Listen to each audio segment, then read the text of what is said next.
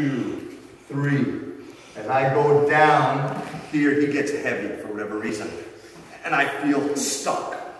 We're gonna drop, more fall in. This one, take him down.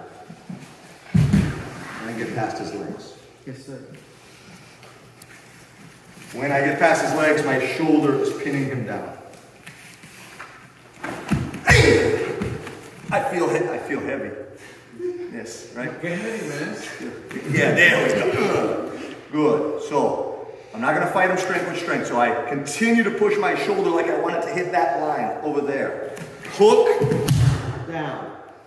Weight on hands, weight on shoulder. Legs pass through, and then we end up on top of him. And then obviously we can do whatever is necessary from there. One more time, Sir Camacho. now. Feel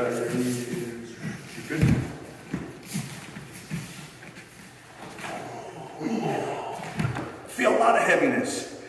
Drive the shoulder. Don't just fall down. You're falling in. Here.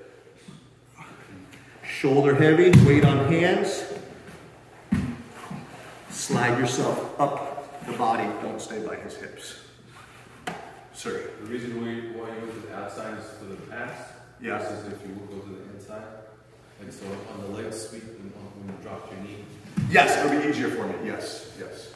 Correct. But we are going to do an outside where he resists a slightly different way. Yeah. Anybody else? the right arm as you have around him and he's going down, how are you keeping it from being trapped? Well, I'm hugging and pulling until his butt about hits the floor, and then I, I don't want to say front fall, I'm not going to full front fall. You're still very Bracing, weight on, weight on three points, hands, shoulder. Um, I want to put a significant amount on my shoulder, uh, but I don't want to rely totally on my shoulder, so I can take weight off of my legs comfortably. Um, that shoulder you can be as mean or as nice. Yes, yeah, the more, the less I have on my hands, the more it's on the shoulder, right?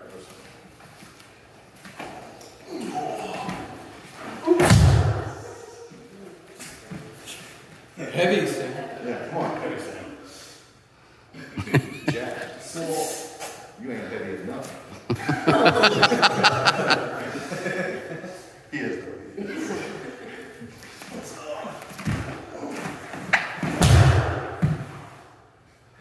See this left ball, maybe not, check the left ball, but I'm only left hand. This time I kind of use the hand to feed Yep. this way.